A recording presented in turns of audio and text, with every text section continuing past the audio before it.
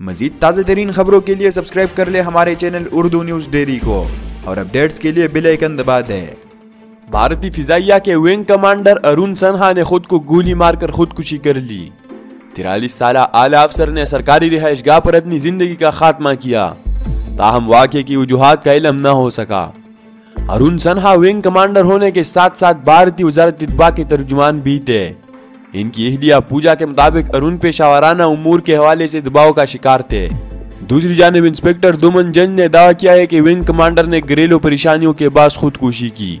भारतीय फिजाइया के आला अफसर ने उस रोज खुदकुशी की, जिस दिन इंडियन एयरफोर्स के तैयारों ने पाकिस्तानी फिजाई हदूद की खिलाफ वर्जी की।